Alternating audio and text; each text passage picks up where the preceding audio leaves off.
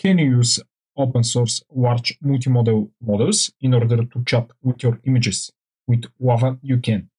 Hey everyone, my name is Venelin, and in this video we're going to have a look at LLaVA, Large Language and Vision Assistant. It is an open source model that is provided by researchers from Wisconsin-Madison University, Microsoft Research, and Columbia University. This model is completely open source and there is uh, also links to a demo that you can try online. Also, there is the newest version of the model, LLaVA 1.5, which we're going to have a look for right in a Google Colab notebook. So what is this model and why it is so cool? Well, the model is actually using GPT-4 in order to generate its own training data. And it combines GPT-4 with images in order to essentially train this multimodal large model. And then this is probably the first model that is performing very well on some images that you can try on your own. And the authors are pretty much describing the performance of the model right here. And they say that this model is performing very well on the benchmarks that I've tried it on. And then the model is open source, so uh, the model and the code is publicly available on GitHub, of course. So the dataset is also available and they have a very nice representation of the different types of uh, or the different categories of the dataset. And they are visualizing the dataset right here in each of their own subsets. So you can go through this. Uh, they're talking about complex reasoning tasks, then uh, giving descriptions to images, a conversation based on something on the image that is uh, provided the source code for the LLaVA model is available on GitHub and it is uh, very much alive. The authors are publishing pretty much non-stop. So there are many improvements to this model and they have a very nice release info right here. So you can go through the latest changes. Uh, in this video, I'm going to show you how you can use this model in a Google Colab notebook. But the authors are providing this pip install and they uh, are also providing this very nice demo in which you can use in order to try out some images on your own. The latest improvement to the LLaVA model is LLaVA 1.5, which paper was released on October 5th of this year. And the title of the paper is Improved Baselines with Visual Instruction Tuning. The major changes to the original LLaVA model are this clip architecture with a vision transformer, and this is described right here with an MLP projection, and then the authors are also adding an additional dataset with simple response formatting prompts in order to train this model. So they are providing a checkpoint with 13 billion parameters model.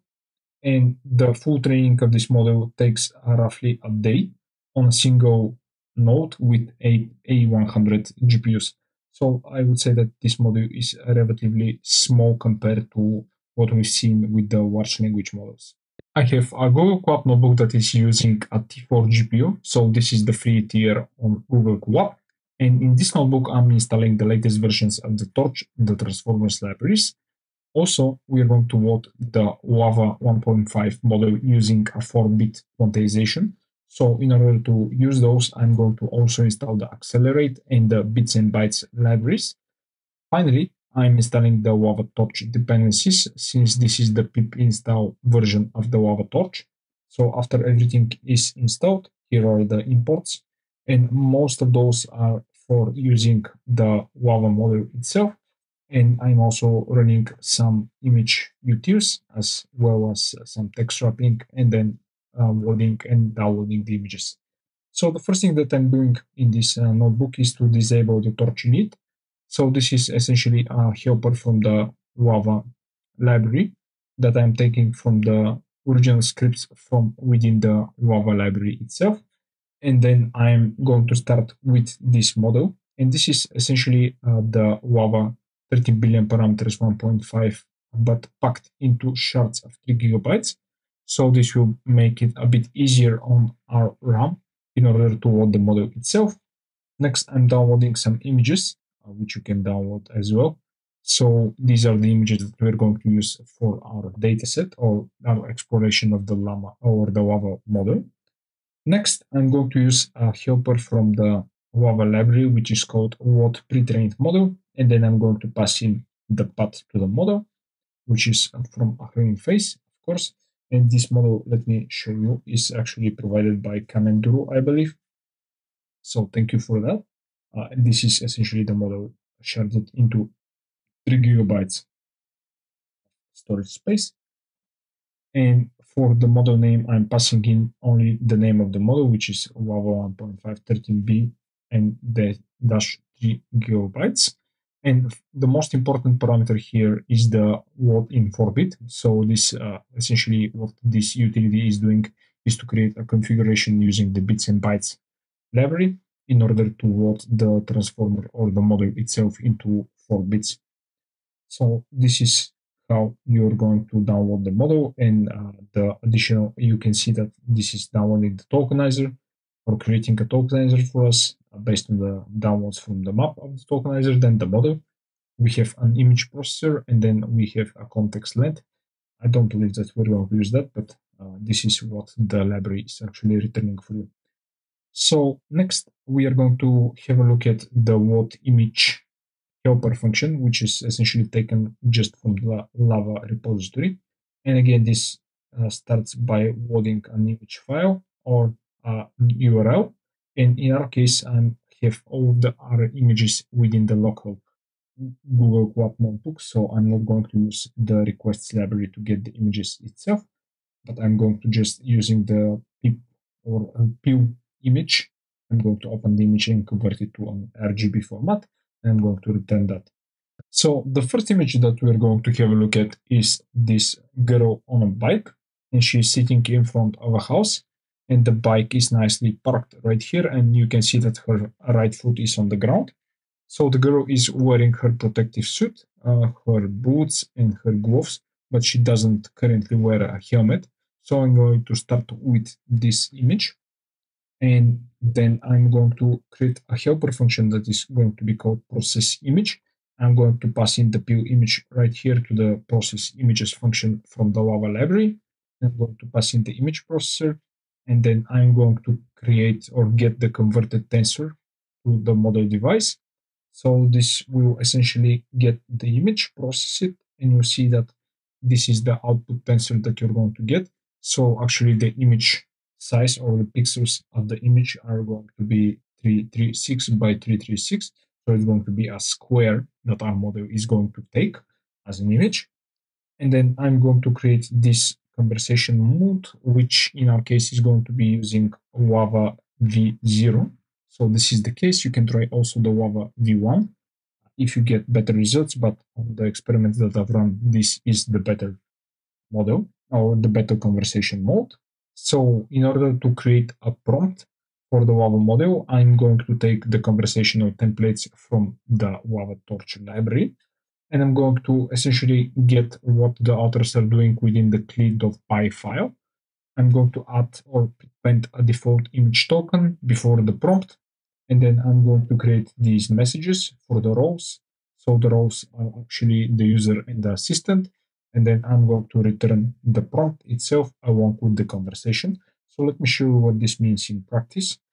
You can see that this model actually has a default prompt or system message. And then you have a human input as a message or image. And then uh, I'm also going to pass in the text right here, describe the image. This is the prompt that I'm actually giving.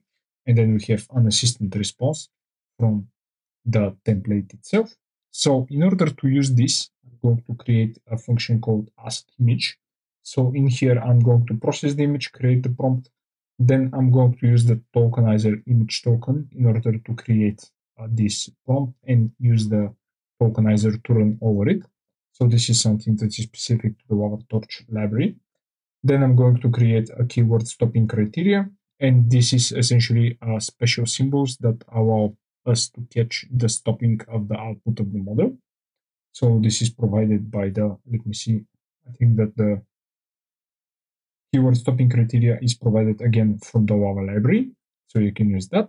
And then uh, the next part is pretty much model generate very uh, similar to what you might have in pretty much any transformer. So this is taking the image and this is the image tensor that we're providing we are also passing a very low temperature in order for these results to be pretty much replicable. and then the maximum new tokens, and then the stopping criteria, which is essentially taking for this stopping string from the conversation style that we have. And after the output is given by the model, I'm going to essentially decode the output using the tokenizer itself, and I'm going to return the response. So for this image, me just remind you of the image itself. I'm asking the LLaVA 1.5 model to describe the image, and I'm outputting the result into a width of 110 characters. First, you see that this takes roughly 15 uh, seconds in order to run through this query. And the model is performing a very good job. It is uh, featuring a woman sitting on a motorcycle parked on a brick driveway in front of a house. She's wearing a black leather outfit, leather jacket, and leggings. The motorcycle is positioned prominently in the scene with the woman sitting comfortably on it. Okay, so I would say that this description is very nice. And then I'm asking the model, does the woman wear a helmet? Uh, please keep in mind that these conversations are not actually in a chat format, but they're given just as a new input. So if you want to create a chat with this type of model, you have to use the conversation uh, module a bit more in order to create the conversation itself. But here I'm just asking questions. Yes, and the model is wrong here. It says that the woman is wearing a helmet while sitting on the motorcycle. So you can see again that she is actually not wearing a helmet. So I've tried another prompt in order to have a look at the reasoning abilities of this model. And I said, take a look at the woman's head. What is the color of her skin? Does she wear a helmet? The woman's skin color is white and she's not wearing a helmet. So when I ask in such a way that is uh, providing a bit more context, probably, so something like the chain of thought prompts that you might be familiar with, then the model is actually providing a correct answer. So keep in mind that this model is also prominent to uh, possible to give you hallucination examples. And next, I'm going to take a look at uh, OCR and document understanding. I'm going to load essentially the first page or an image of the first page of the Bitcoin a peer-to-peer electronic cash system paper. And you can see that we have the title, then a very lengthy abstract right here, and an introduction part on this image, at least. And then I'm asking, what is the title of the paper? And it says that it is Bitcoin a peer-to-peer electronic cash system, uh, which is correct. And then I'm asking to extract the text from the abstract, and then it's essentially repeating the title of the paper, which is again wrong, but the title was correctly extracted. And then I'm asking to create a summary of the abstract of the paper in two sentences. And it is essentially taking this and going to the summary. So it is actually defining the summary or the abstract of the paper. And then it is uh, also trying to create a very nice summary using the abstract. So I would say that it did much better job compared to the extraction of the abstract itself. Next, I'm going to give this paper a price chart. So in this case, I took this from CoinMarketCap, I believe, or something like that. And I just passed in this data. And I asked, this is a chart of Bitcoin price. What is the current price according to the chart? and the current price at least right here it says uh, 29.8 and let's see what the model is giving us it says that the current price bitcoin according to the chart is 23000 which is incorrect so yeah this model got this wrong again and then i've tried the captcha so this is the captcha that i'm passing in extract the text from the image so this is what i'm asking and it says that is 540 which is again uh, quite wrong as you might see.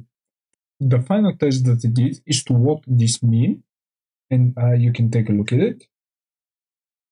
So this is the meme, and then I've asked the model, is this funny and why? Yes, the image is funny because it humorously represents the process of learning by showing a person's brain go through different stages of learning. So it got uh, this very well. The image features a series of four pictures of a brain, different stage of learning, such as university online courses, YouTube, and articles. Okay, so I would say that uh, it is getting this correct. probably there were a lot of images with this type of memes on the internet. So I would say that I would expect this type of memes to be represented quite well, explained quite well. And then I asked order all warning resources sorted by usefulness in a list according to the image. The best must be at the top. So I would say that the image is reversely ordered, but uh, the model said that the online courses is number one, so this one. Then YouTube, so this one. Then university, university here. Then articles, and then memes. So it did its own sorting that is uh, not very much aligned with the image but I haven't tried to ask why uh, this is the sorting that is giving us. Maybe you can do that on your own and let me know in the comments. So this was it for this video. Thanks for watching guys. Please like, share and subscribe and I'll see you in the next one. Bye.